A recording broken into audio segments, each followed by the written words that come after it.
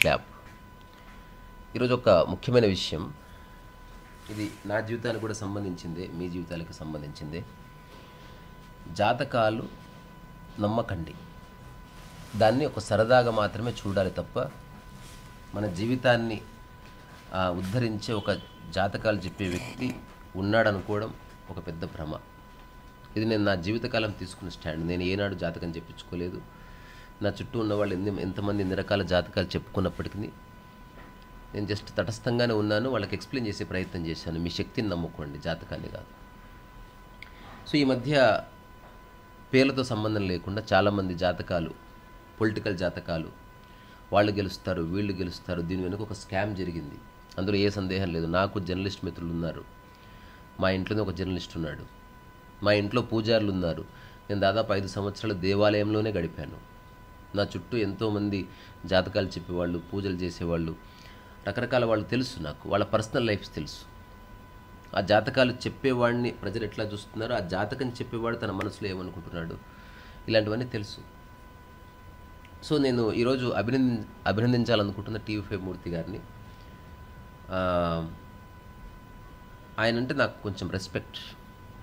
అంటే ఇంత కరప్ట్ సమాజంలో ఒక చిన్న స్టాండ్ తీసుకొని అటు ఇటు మొగ్గకుండా విషయాన్ని విషయంగా చెప్పడానికి ప్రయత్నం చేయడం. ఎవరి పర్సనల్ లైఫ్ గురించి ఎవరికి తెలియదు. మళ్ళీ వినేవాళ్ళు ఎవరైనా టీవీ ఫైవ్ మూర్తి మంచివాడు కాదంటే నేనేం చేయలేను. నేను విషయం గురించి మాట్లాడుతున్న వ్యక్తిగతం గురించి కాదు. ఒక జర్నలిస్ట్ బాధ్యత అసత్యాన్ని ఎక్స్పోజ్ చేయడం అబద్ధాన్ని ప్రజలకు పరిచయం చేయడం దాని మీద నిలబడడం కరప్షన్ని జీవితంలోకి ఆహ్వానించకుండా వృత్తిని వృత్తిగా చేయడం. ఇట్లాంటి విషయాలన్నీ అతనిలో నేనైతే చూశాను. అంతకుమించి నాకు కూడా ఏం తెలియదు సో ఈ జాతకాల గురించి ఎవరైతే ఆలోచిస్తున్నారో వాళ్ళంతా ఆలోచించండి. ఇప్పుడు ఒక ముఖ్యమంత్రిగా చంద్రబాబు జాతకం చెప్పించుకున్నాడు ముఖ్యమంత్రిగా జగన్ జాతకం చెప్పించుకున్నాడు ఒకరు గెలిచారు ఒకరు ఓడిపోయారు. ఇద్దరు ఒకే విధమైన రాజశ్యామల యోగం చేశారు యాగం చేశారు. మరి ఫలితం ఎందుకు రాలేదు? ఇద్దరు గెలుస్తారు ఎప్పుడైనా? అలా జరగదు కదా. సో మనం ఎన్లైటన్ అవ్వాలి ఈ విషయాలు. జీవితకాలం జస్ట్ నా గ్రహచారం బాగాలేదు లేకపోతే నా గ్రహాలు బాగాలేవు నా చుట్టుపక్కల పరిస్థితులు బాగాలేవు అని చెప్పడం మానేసి అసలు ఒక వ్యక్తిగా నువ్వేం చేయగలవు ఎక్కడెక్కడ నీ యొక్క ఎనర్జీ వృధా అవుతుందో అట్లాంటి వాటిని గుర్తించి పక్కకు జరిపితే సరిపోతుంది. సో ఈరోజు ఒక చిన్న ఆడియో నేను మూర్తి గారిది ప్లే చేస్తాను. దయచేసి టీవీ ఫైవ్ వాళ్ళు ఎవరైనా దీని మీద కాపీరైట్ స్ట్రైక్లు వేయకండి. నా ఉద్దేశం టు ఎడ్యుకేట్ ఫర్దర్ అంతవరకే. చేస్తామని హెచ్చరిక. ఏది? నిన్ను అగౌరవపరిస్తే నువ్వు ప్రపంచంలో ఉన్న అందరు సెలబ్రిటీలు అగౌరవపరుస్తావు వాళ్ళు విడిపోతారు వీళ్ళు చచ్చిపోతారు. దాన్ని ఏమంటారు? సో ఓన్లీ నేను మీకు జాతకం చెప్తాను ఎంత తగ్గించుకుంటారంటే నువ్వెవరు జాతకం చెప్పడానికి నేను నిన్ను అడగలేదు కదా నువ్వు నాకు ఫోన్ చేసావు నా అంటే ఇప్పుడు ఎవరో ఒక వ్యక్తి జాతకాలు చెప్పి వాళ్ళకి ఫోన్ చేస్తే సరే మీరు నాకు జాతకం చెప్తారు ఇంత డబ్బు తీసుకుంటున్నారు నేను మీ జాతకం చెప్తాను నాకు డబ్బులు ఇస్తారని అడిగితే నేను మిమ్మల్ని అడగలేదు కదా మీరు నా జాతకం చెప్పడానికి అన్నప్పుడు టీవీ ఫైవ్ ముడితే ఒక ప్రశ్న అడిగాడు. మరి ఇప్పుడు సెలబ్రిటీస్ గురించి ఎవరైతే జాతకాలు చెప్తున్నారో వాళ్ళు అడగలేదు కదా. సో సెలబ్రిటీస్ని పట్టు పట్టుకుంటారు ఎందుకు జనాలు? అన్ని యూట్యూబ్ ఛానల్స్ సెలబ్రిటీ ప్రస్తావన ఎందుకు వస్తుందంటే సెలబ్రిటీతో నీ ఒక కంటెంట్ రిలీజ్ చేస్తే అది ఫేమస్ అవుతుందని. అంతకుమించి ఏ కారణం ఉంటే చెప్పు. ఇప్పుడు నేనున్న నా ఛానల్లో ninety nine point nine nine nine nine nine nine percent common మ్యానే ఎప్పుడన్నా సందర్భోచితంగా ఒక పవన్ కళ్యాణ్ ఫోటో చూపించి ఒక వీడియో చేసి ఉండొచ్చు. పవన్ కళ్యాణ్ నా సబ్జెక్ట్ కాదు. జగన్ కానీ చంద్రబాబు గారు కానీ మోదీ కానీ నా సబ్జెక్ట్స్ కాదు. వాళ్ళ పనులు ఏదో వాళ్ళు చేసుకుంటున్నారు. సో ఇప్పుడు వేరే వాళ్ళ పర్సనల్ లైఫ్లోకి తలదూర్చి అక్కడి నుంచి నీవు డబ్బు దండుకోవడానికి దాని కామన్ మ్యాన్ జీవితం పట్ల అవగాహన లేని ఒకనొక స్థితిలో ఏదో పాపం ఆశిస్తాడు. ఇది చేస్తే నాకు మంచి జరుగుతుంది కదా అని. నాకు తెలిసిన ఒక ఆయన అసలే ఆర్థిక సమస్యలు. నాకు తెలిసిన ఒక పూజారి మాట విని మళ్ళీ ఇరవై ఐదు వేలు అప్పు చేసి ఒక పెద్ద పూజ చేసి ఆ తర్వాత ఇప్పటికి నాకు తెలుసు ఆయన జీవితం ఏం బాగుపడలేదు. నేను చాలాసార్లు చెప్పాను మీరు ఇట్లాంటి వాటిని నమ్మకండి సార్. ఇప్పుడు మీరు ఏ పని చేస్తున్నారో ఆ పనిలో నిష్ణానత వైపు వెళ్ళండి. అందులో ఎక్సలెన్స్ వైపు వెళ్ళండి. దాంట్లో కొన్ని విషయాలు నేర్చుకోండి. తద్వారా మీ జీవితంలోకి డబ్బు వస్తుంది తప్ప ఇలా అడ్డదారుల్లో ఏదో గ్రహాలు ఇంకోటి ఈ గ్రహాలకి ఉపగ్రహాలకి ప్రాపంచిక విషయాలతో సంబంధం లేదండి. ప్రకృతి సంబంధ విషయాల్లోనే గ్రహాలు గ్రహబలాలు ఉంటాయి. ఎన్ని గ్రహాలు ఎలాంటివి ఎటువంటి ప్రభావం చూపినా నువ్వు నేను మరణించబోతున్నావు అంతలోపు ఆనందంగా ఉంటావా లేదా అన్నది ప్రాపంచక విషయాలు నువ్వు వెల్కమ్ చెప్పి నువ్వు అట్లా బాధపడుతున్నావు కానీ ప్రపంచాన్ని ఒక్కసారి పక్కకు జరిపి చూడు డబ్బును పట్టించుకోకు పేరు ప్రఖ్యాతులను పట్టించుకోకు ప్రతిష్టను పట్టించుకోకు గౌరవాన్ని పట్టించుకోకు మహత్వాకాంక్షను పట్టించుకోకు పోలికలు తీసేసి ఒపీనియన్స్ తీసేసి పాలిటిక్స్ని పట్టించుకోకు. ఆబ్వియస్గా నువ్వు ఆనందంగా ఉంటావు. సో బురదని మనమే రాసుకొని ఆ బురద లేకుండా జీవించే ఉద్దేశం లేకుండా నేను ఆనందంగా ఎట్లుండాలి? నేను సంపద ఎట్లా సంపాదించాలి? నేను కోటీశ్వరుని ఎట్లా కావాలి? ఎంత ప్రాపంచిక విషయాలకు ముడిపెట్టారు జాతకాన్ని. జాతకం ఒకవేళ ఉంటే ప్రకృతి రీత్యా ఉంటుంది. జస్ట్ నీ పని నువ్వు చేసుకో. చైతన్య నాగార్జున గారు మిమ్మల్ని అడిగారా? ఫోన్ చేశారా? పబ్లిక్లో ఎందుకే బోటు పట్టుకొచ్చావు? మ్మ్. ఎంతమందిని బెదిరి రాష్ట్ర మహిళా కమిషన్ చైర్పర్సన్ నేరేళ్ళ శారద గారిని కలిశారు. పుస్తకాల పేరుతో? సో మీకు ఒక మంచి పదం చెప్తా క్వాకరీ అంటారు. అంటే విదేశాల్లో చి- చిలక జ్యోతిష్యం కానీ జాతకం కానీ ఇట్లాంటివి ఒక ట్రెడిషన్ బేస్డ్ ఎంటర్టైన్మెంట్ కిందే చూస్తారు తప్ప దాన్ని గంభీరంగా తీసుకోరు. నీ యొక్క మనసుని ఎప్పుడు వేరే వాళ్ళ చేతిలో పెట్టనే వద్దు. ఇది అత్యంత ఆవశ్యకమైన జీవన సూత్రం ఇది. నీ జీవితాన్ని నువ్వే నిర్మించుకో. స్వామి వివేకానంద కానీ రామకృష్ణ పరమహంస కానీ రమణ తాత కానీ కృష్ణమూర్తి కానీ ఈ ప్రపంచంలో ఏ జ్ఞానోదయం పొందిన వ్యక్తి జాతకాన్ని సమర్థించలేదు. నేను అసలే సమర్థించను. దాన్ని సరదాగా ఎవరో చేయి చూపిస్తే ఏదో చెప్పారు.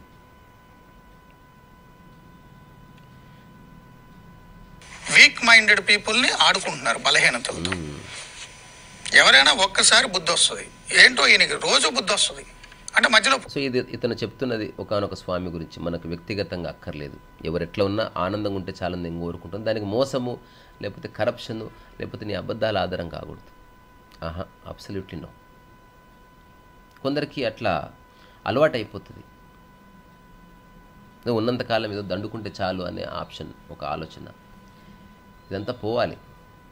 నా పర్సనల్ ఒపీనియన్ అంటే it should all go so మనిషికున్న ఒకానొక బలహీనత వల్లనే జాతకం వైపు అతను మెల్లగా మొగ్గు చూపుతాడు. బికాజ్ నేనేమి చేయలేను. ఇంకా నాకు ఇప్పుడు ఏవో గొప్ప గొప్ప శక్తులు. ఒక పెద్ద గ్రహము అది ఎక్కడుందో. ఇంకొకటి నిరంతరం వాటి యొక్క ఇంపాక్ట్కి మనం లోనైతేనే ఉంటాం. ముహూర్తాలు మనకున్నాయి ప్రకృతికి లేవు. ఎవరైనా మందు మానేసానంటే ఒకసారి మానేస్తారు. పది రోజులకు ఒకసారి మానేస్తానంటే గౌరవపరిస్తే ఏం చేస్తావు తంత్ర పూజలు? వామాచార పూజలు? ఎవరిని పట్టుకొచ్చి? హిందూ సంస్కృతికి హైందవ మతానికి మూలమైనటువంటి నాలుగు వేదాల్లో లేదు వ్యక్తిగత జాతకం. నేను మళ్ళీ మళ్ళీ చెప్తున్నా. సో వ్యక్తిగత జాతకము లేదు.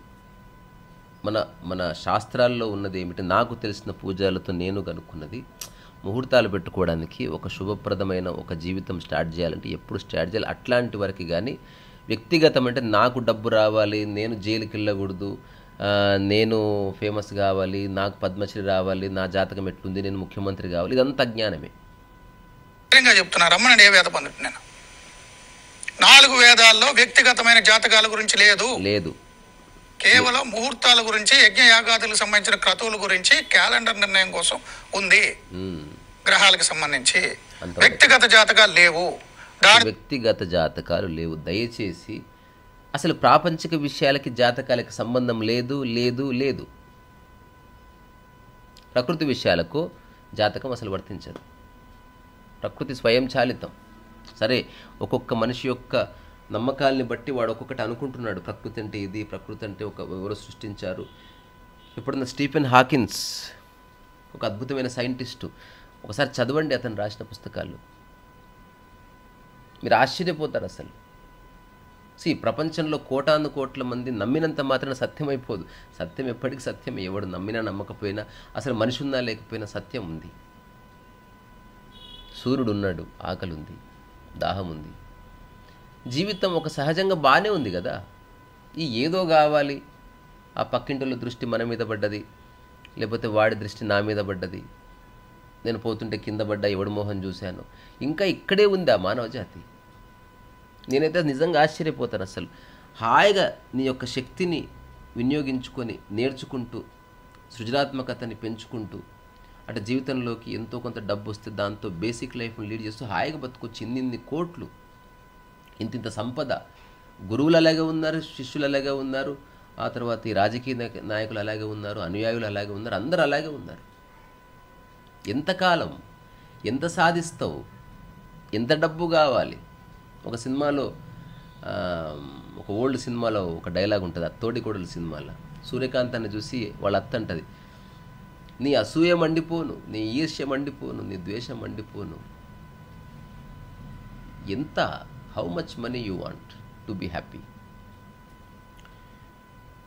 వచ్చినటువంటి వేదాంగాల్లో బృహస్పతి పరాశర వాటికి సంబంధించిన టెక్స్ట్లో ఉన్నాయి. వీటిని పట్టుకొచ్చి వీళ్ళని బెదిరిస్తున్నారు. వాడు ఓడిపోతాడు ఈడు ఓడిపోతాడు ఈడు ఓడిపోతాడు ఆడు ఓడిపోతాడు విడాకులు అయిపోతాయి. ఆ విడాకులు అవుతాయి. ఏంటి తప్పు? నాకు అర్థం కాదు. అసలు ఎంత చక్కటి మాట చెప్పాడు మూర్తి. విడాకులు అవుతాయి. సో జీవితం అంటే ఒక్కరితోనే జీవితకాలం ఉండడం కాదు.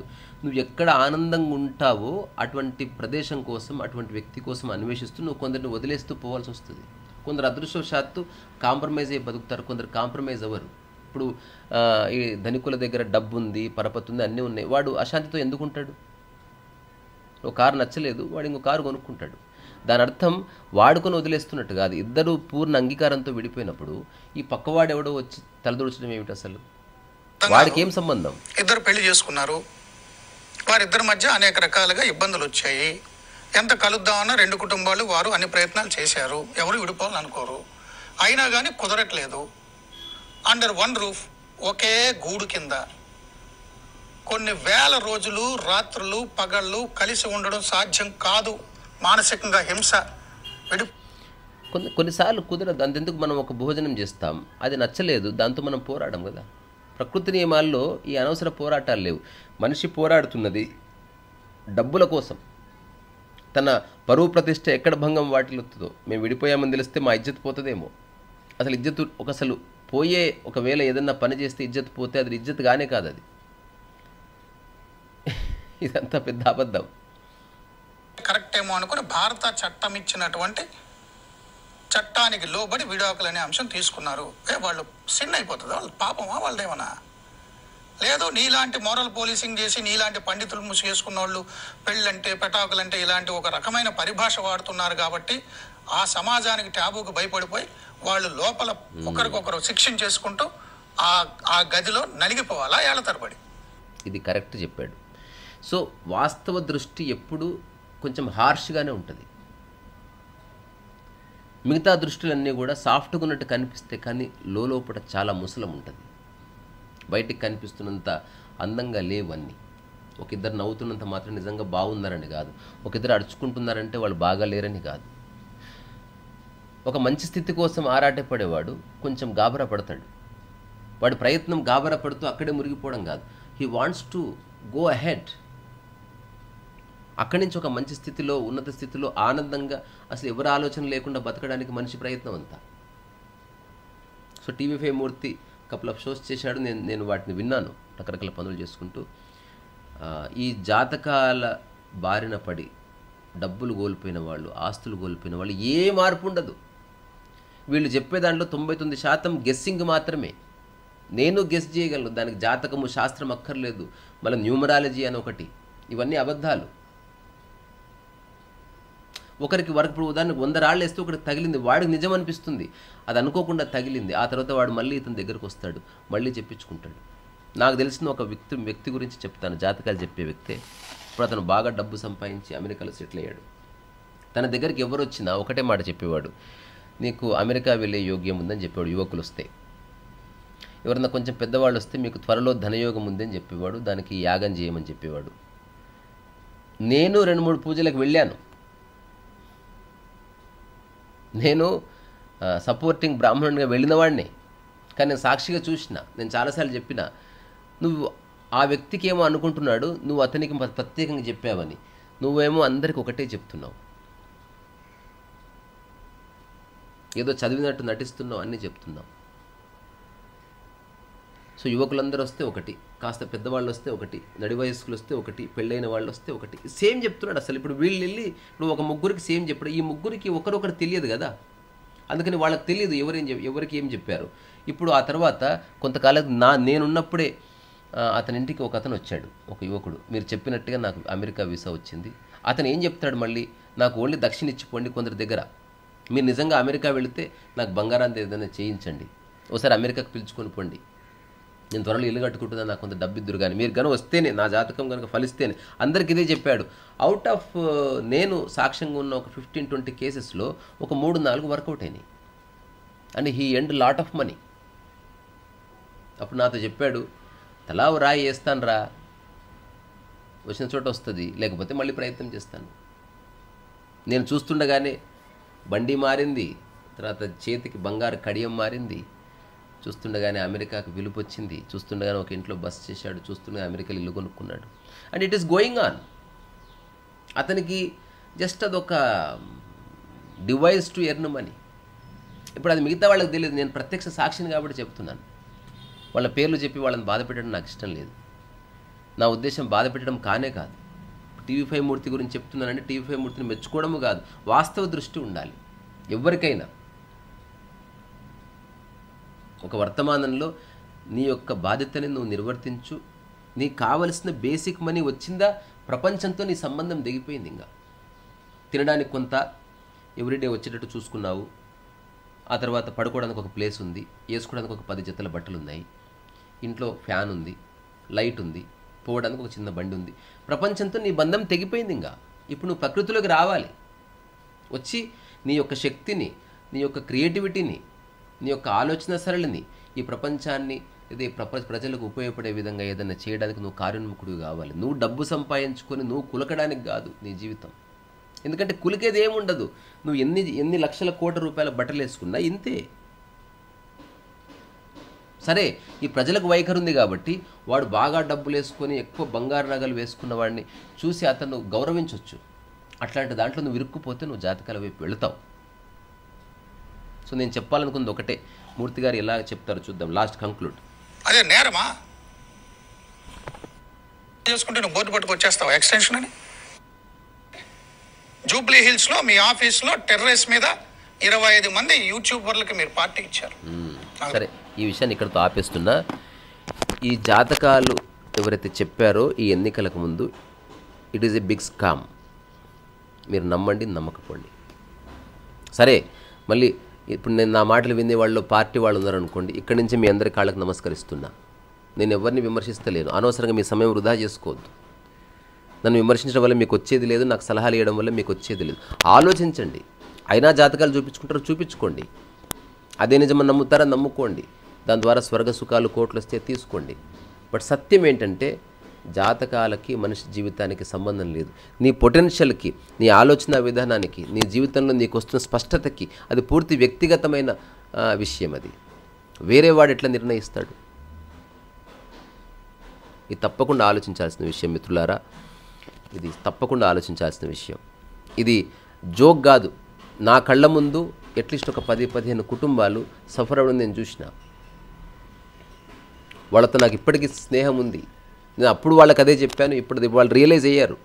అన్ని జాతకాలకి టాటా బాయ్ బాయ్ చెప్పి చిన్న చిన్న పనులు చేసుకుంటూ జీవిస్తున్నారు. నీ జాతకము నీ చేతులు ఉంటుంది గ్రహాల చేతులు ఉండదు ఇప్పుడు భూమి అంతా ఒక గ్రహం కదా అట్లా అంగార గ్రహం అంతా ఒక గ్రహం కదా. సో అందులో ఉన్న చెట్లు పుట్టలు అంతా కలిపి ఆ గ్రహాన్ని వేతాయి అవన్నీ ఆ గ్రహంతో పాటు తిరుగుతున్నాయి. కాస్త బుర్ర పెట్టి ఆలోచించండి. అట్లా ఈ భూమి మీద ఉన్న చెట్లు పుట్టలు మనుషులు పక్షులు ఆ తర్వాత కుక్కలు అన్నీ ఈ భూమిలో ఒక భాగం. ఇవన్నీ కలిపి తిరుగుతున్నాయి. సో ఇండిపెండెంట్గా ఇంపాక్ట్ ఉండదు. సూర్యకాంతి అందరి మీద ఒకలా పడుతుంది. ఒక గ్రహం యొక్క ఇంపాక్ట్ ఉంటే అందరిలా ఒక అందరి మీద ఒకలా పడుతుంది. వర్షం అందరి మీద ఒకలా పడుతుంది. చెట్టు మీద ఎక్కువ మనిషి మీద తక్కువ ఎండ పడదు. అసలు ఏమైపోయింది మానవ జాతికి సినిమాలో యాడ్ వస్తుంది కదా. అసలు నగరానికి ఏమైంది? అసలు ఏమైంది ఈ నగరానికి అసలు? సో ఇక్కడి నుంచే మీలో ఉన్న నిజమైన జ్ఞానానికి నేను శిరస్సు ఉంచి నమస్కారం చేస్తున్నాను మీ శక్తిని మీరు నమ్ముకోండి. నిరంతరం ఏదైనా నేర్చుకోండి. నేర్చుకోవడం వర్తమానపు అనుభూతినిస్తుంది. ధ్యానం యొక్క ఒక పర్యాయ వాచి నేర్చుకోవడం. ఆ నేర్చుకోవడానికి ప్రపంచ విషయాలు జోడించకండి.